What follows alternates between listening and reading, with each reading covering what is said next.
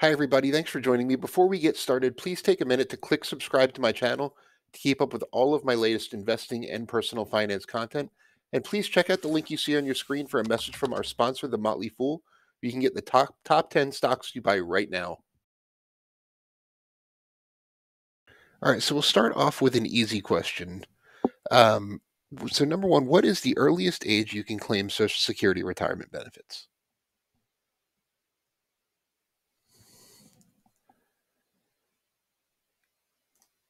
The answer is 62 years old. You can start collecting Social Security as early as age 62 or as late as age 70. Most people claim anywhere between age 62 and 65. Those are the most common claiming ages, but you can wait as long as age 70. So, number two, let's get into a little bit tougher question now. What is your Social Security full retirement age? Give you a second to think about it. Most people, the most common answer given to this question is 65, but that is not correct. The correct answer is it depends. Depending on the year you were born, your full retirement age can be anywhere from 66 to 67 years old. If you were born in 1960 or later, your full retirement age is 67 years old. Question number three How much will your Social Security benefit be reduced if you decide to claim at 62 as early as possible compared with your full retirement age. All right, so let's see if you got this right. The answer is if you claim at age 62, your Social Security benefit will be 30% lower than if you wait until full retirement age.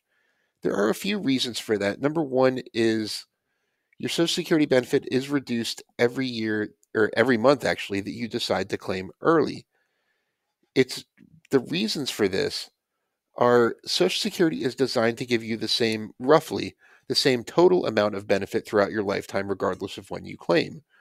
It's based on life expectancy. So if you claim at 62 as opposed to age 67, you'll be collecting for five more years.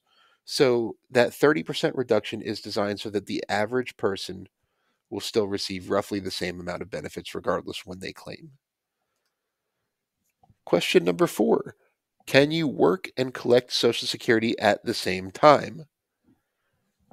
The short answer to this question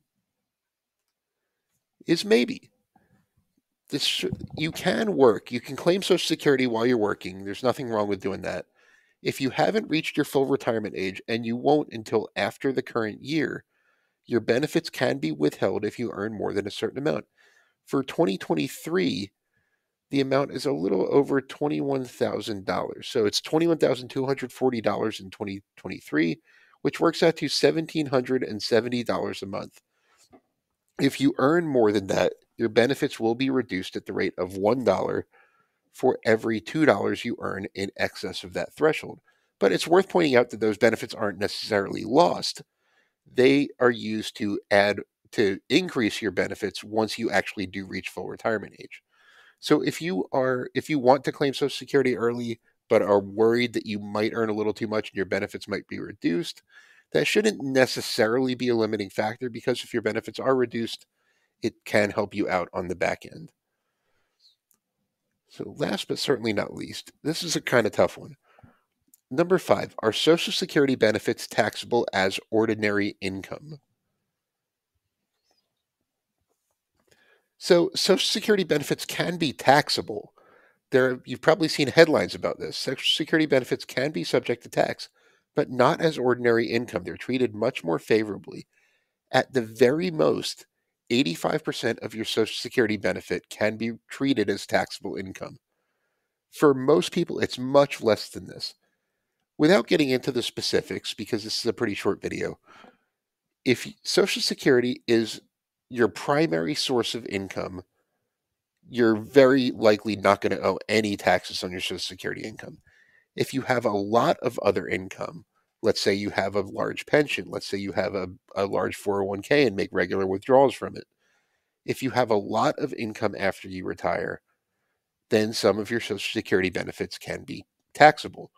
Your income has to be pretty high for 85% of your Social Security benefits to be taxed For most people, it is a significantly lower percentage than that. So, hopefully, you enjoyed this quick Social Security quiz and learned something in the process.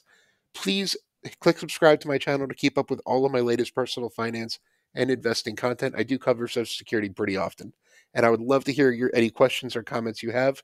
Once again, thank you so much for joining me. Be sure to click subscribe if you don't subscribe to my channel already. And as always, this video is sponsored by The Motley Fool. Be sure to visit www.fool.com slash Frankel to receive the 10 top 10 best stocks to buy now.